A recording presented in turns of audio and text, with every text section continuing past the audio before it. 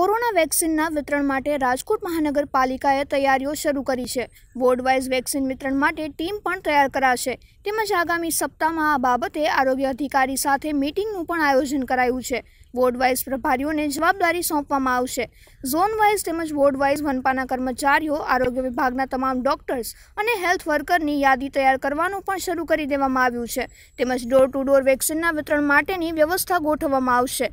રાજકોટ મહાનગરપાલિકાના ચાર હજાર છસો પંચાવન કર્મચારીઓ અને હોસ્પિટલના આઠ હજાર પાંચસો ચૌદ કર્મચારીઓને પ્રથમ ડોઝ આપવામાં આવશે.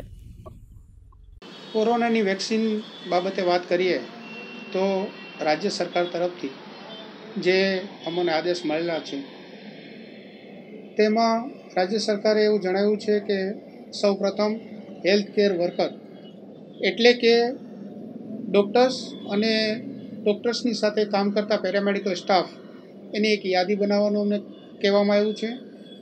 જેને લઈને અમે લોકોએ સરકારી અને પ્રાઇવેટમાં કામ કરતા હેલ્થકેર વર્કરની એક યાદી બનાવી છે.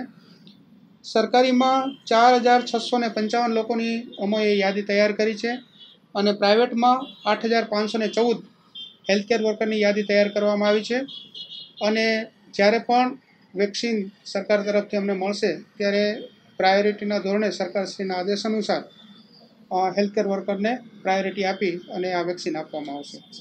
સરકાર તરફથી એક, એ પણ સૂચના આપવામાં આવી છે કે પચાસ વર્ષથી મોટી ઉંમરના લોકો હોય, એમની યાદી પણ બનાવવી અને એની યાદી પણ અમે બનાવી રહ્યા છીએ. અત્યારે અમારી પાસે જે લોજિસ્ટિક છે, એ લોજિસ્ટિકની પણ અમે ઓડિટ કરી રહ્યા છીએ કે અમારી પાસે કેટલા સાધનો છે, કેટલા વેક્સિન્સ છે વેક્સિન રાખવાના સાધનો છે, એની પણ અમે એક ઓડિટ કરી રહ્યા છીએ. સરકાર તરફથી જે અમને આદેશ આપવામાં આવશે અથવા ગાઈડલાઈન આપવામાં આવશે, એ સરકાર તરફથી આપવામાં આવતી ગાઈડલાઈન પ્રમાણે અમે કામગીરી કરશું. એટલે તો સરકાર તરફથી એવી ગાઈડલાઈન આપવામાં આવેલી છે કે આ યાદી તૈયાર કરો અને યાદી તૈયાર કર્યા પછી ફર્ધર સરકાર તરફથી જે ગાઈડલાઈન મળશે, સૂચનાઓ મળશે એ પ્રમાણે કામગીરી કરવામાં આવશે.